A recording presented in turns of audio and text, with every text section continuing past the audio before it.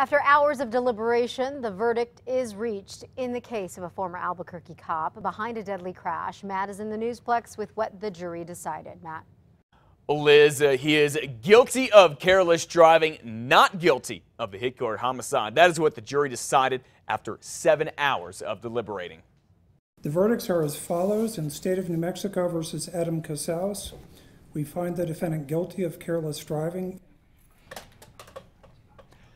Silence filled the courtroom after those words were read. The mother of Ashley and Lindsay Browder, the two girls who were in the SUV that Casaus hit, sobbed quietly. It's been a year and a half since prosecutors say Casaus, who was off duty, sped through a red light on his way home, killing Ashley and severely hurting her sister Lindsay. Prosecutors wanted Casaus to get up to nine years in prison for vehicular homicide and reckless driving. Now he'll get at most 90 days in jail for careless driving, which is a misdemeanor. Some of the folks here are going to prefer a different verdict than other folks. Whatever happens, a tragedy has occurred. Casaus claims he was going after a dangerous, possibly drunk driver at the time of the crash, something no one could prove. APD fired him a few months later, but now he wants to be a cop again. He is set to be sentenced in December. He will stay out of jail until then. Meanwhile, the Browder family has filed a lawsuit against the city in federal court. Well, today, Rio Arriba County commissioners in just a few hours will decide whether they can put the sheriff-elect, James Alujan, in office as interim sheriff. The current sheriff is still a convicted felon, Tommy Rodella. He is refusing to give up his post even as he sits behind bars this morning. Yesterday, county leaders asked for Rodella to resign again and again through his attorney. He said no. Rodella was convicted by a federal jury Friday for violating a driver's civil rights and a gun charge. That gun charge alone gets him a mandatory seven years in federal prison. He faces 10 more years on the other charge when he is sentenced in December. The district attorney filed a petition to formally remove Rodella from office yesterday. He lost his bid for re-election in June to James Alujan. Lujan was not supposed to take over until sheriff until December. Again, that meeting starts at 10 this morning in the commission chambers on Industrial Park Road. Liz? The fallout continues this morning over the controversial comments made by an APD officer hours before he shot a homeless camper in the foothills earlier this year. We spoke with Mayor R.J. Berry and Police Chief Gordon Eden about the comments that were made by Officer Keith Sandy. This all centers around video where you can hear Sandy call calling Boyd a quote, effing lunatic and saying that he was going to be using force against the mentally ill man before he was briefed on the situation or before he even saw Boyd.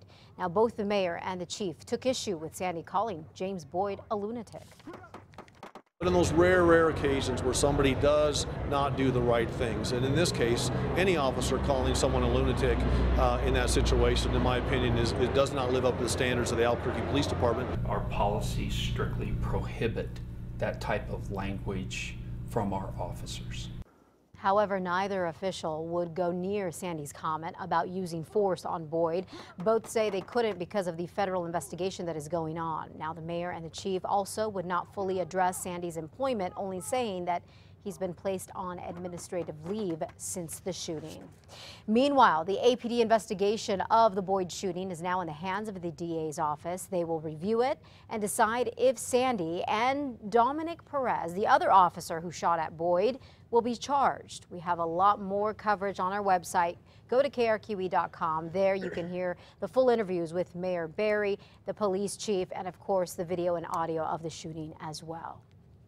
The charges against the mom that state police shot at last year have been tossed out, but she is not off the hook just yet. It's a new twist in the case that got national attention because it was caught on tape right here in New Mexico. Remember when state police pulled over Oriana Farrell last October for speeding and then that traffic stop spun out of control. State police officer shot at Farrell's minivan as she took off with her five kids inside. Here's dashcam video of that.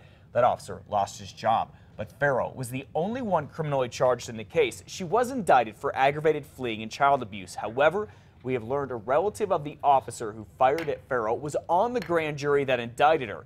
The district attorney dismissed that juror before the indictment, but an appeals court judge ruled that only a judge can dismiss grand jurors. Because of that misstep, the appeals court has ordered the district court to drop Farrell's charges, but this case is not over just yet. They had nothing to do with the evidence that was presented it only had to do with the procedural uh, matters. So that's why we're uh, going back to the grand jury. The district attorney says he'll bring the case before another grand jury next month. The price tag to reopen the waste isolation pilot plant could top $240 million. The underground nuclear waste site near Carlsbad has been shut down for months. A barrel of nuclear waste leaked in February, exposing 22 workers to low levels of radiation. The exact cause of the leak is still under investigation, and the feds are reworking procedures at the plant. The goal is to reopen the WIPP site by 2016. 506 now, those hoping to get their flu shots at one of UNM's free clinics will have to wait at least a few weeks because of manufacturing issues with the latest vaccine. The hospital now expects to get those vaccines toward the middle or even the end of this month. Now, flu season usually gets busy in December, so doctors say you still have plenty of time to get vaccinated, even with the delay. Now, for a list of other flu shot clinics in your area, head to our website at krqe.com and click on links. Uh, well, the Ebola outbreak that has killed thousands of people in West Africa is hitting the U.S. with the first case of the virus confirmed and diagnosed in Texas. Yeah, the whole country talking about this right now. And the state's governor down in Texas, Rick Perry, is expected to hold a news conference on the situation today. The unidentified patient is in isolation getting treatment at a Dallas hospital. Authorities are saying that they're trying to track down the patient's relatives and friends that the patient may have visited after showing symptoms of the potentially deadly virus. It is certainly possible that someone who had contact with this individual, a family member or other individual, could develop Ebola in the coming weeks. But there is no doubt in my mind that we will stop it here. Here's what else we know. The patient left Liberia on September 19th and arrived in the U.S. on the 20th. He did not have symptoms at that time, but a few days later he did and was hospitalized and isolated on Sunday.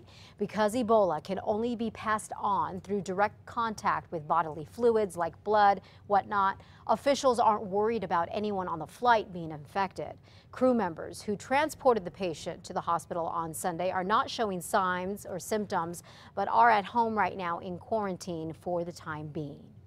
508 is now the time. It is October 1st, and it's time to start thinking about the holidays, and that means it's Toys for Tots time. The city and the U.S. Marines are teaming up to make this charity a success once again. They will collect toys and hand them out to about 10,000 underprivileged kids. If you are a family in need, you can register your child starting tomorrow. Now, registration runs through December 4th for New Mexico residents with kids from six months old to 10 years old. To sign up, head on over to our website, krqe.com. We've got a link for you there. If you can donate a toy for the program, the program really needs you. Again, you can go to our website for information on how to help out.